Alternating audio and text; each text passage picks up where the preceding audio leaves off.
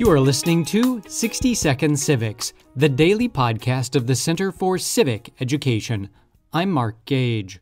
The struggle between the rights of people and groups and the power of government to interfere with or violate those rights is one of the great themes of human history.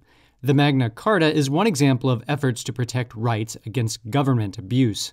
It is sometimes referred to as the Great Charter of Freedoms or the Magna Carta Libertatum. The English Bill of Rights of 1689 is another example of listing the rights of individuals and groups in relationship to their government. Among other things, the English Bill of Rights guaranteed free speech and debate in Parliament, permitted English subjects to petition the Crown, prohibited the imposition of excessive bail and cruel and unusual punishments, and prohibited the Crown from keeping a standing army in peacetime. The English Bill of Rights also established that the rule of law is the foundation of legitimate government, and that the people are entitled to be represented in legislative institutions. That's all for today's podcast.